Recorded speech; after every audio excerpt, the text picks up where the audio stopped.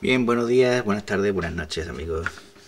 Hoy traemos un juego de llaves de vaso del altas, de las de impacto, son llaves de impacto, llaves de vaso de impacto, pero de las altas.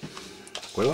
Estas en concreto son de 75 milímetros de alto. ¿De acuerdo?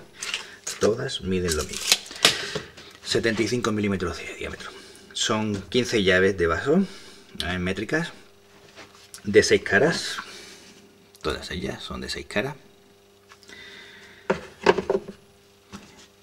De acuerdo, de media pulgada, de media pulgada y tres extensiones que son de 3, 5 y 10 pulgadas, o lo que es lo mismo, 76 milímetros, 127 y 254 milímetros respectivamente, ¿de acuerdo? Es decir, el tamaño largo, el medio y el corto normal de cualquier juego de carraca que tengamos, ¿de acuerdo?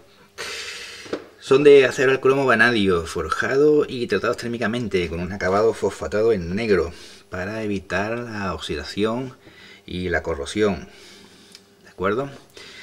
Traen grabado el número de la llave con láser para que se pueda ver bien, ¿de acuerdo? Aunque también lo trae grabado, estampado, ¿de acuerdo? Por si se borra el número láser que podamos identificarla con el tiempo, ¿de acuerdo? Son para uso profesional y vienen en un bonito y práctico estuche que parece bastante resistente y me ha gustado bastante. ¿De acuerdo? Los vasos son desde el número 10 al 24 todos consecutivos, lo cual también me gusta bastante porque hay otros juegos donde se va saltando algunas llaves, aunque hubiese sido mejor un vaso que hubiese incluido, un juego de vaso que hubiese incluido hasta el número 32, que es el más usado. ¿De acuerdo? Yo he hecho aquí en falta pues lo que ya os he comentado alguna vez, que es el pequeño rebaje en el accionamiento de media pulgada para la para la bolita de bloqueo de, de la carraca. ¿De acuerdo? Ya sabéis, la bolita esta que impide que la llave se salga.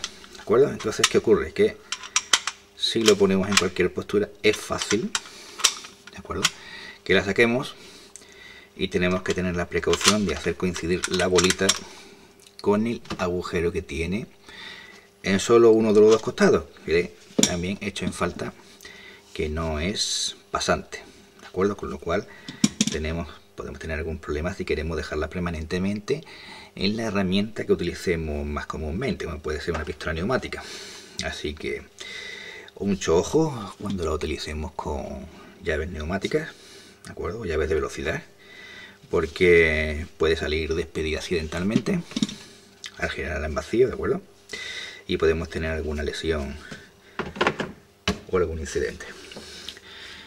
¿De acuerdo? En cuanto a lo demás, tiene muy buenas críticas. He leído muy buenas críticas de esta marca. Todo el mundo habla bastante bien de ella. La he probado, pero claro, la he probado muy poco, entonces no es lo suficiente para hacerse una idea concreta de, del uso, ¿no? La calidad que puede tener.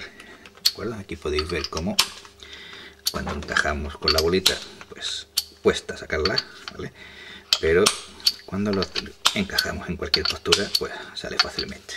Esto es, es un poco peligroso y es algo que teníamos que tener en cuenta. Lo que os decía, la calidad parece bastante buena, ¿vale?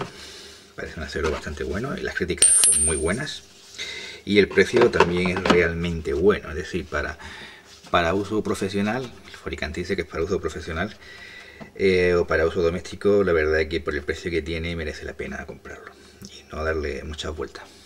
¿De acuerdo? Pues muy bien amigos, pues espero que os haya gustado y nos vemos en el próximo vídeo. Chao, chao.